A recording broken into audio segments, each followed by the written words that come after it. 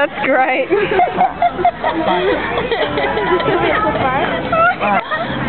Steal it off Emma? No! Callum threw it away! We found it! Yeah.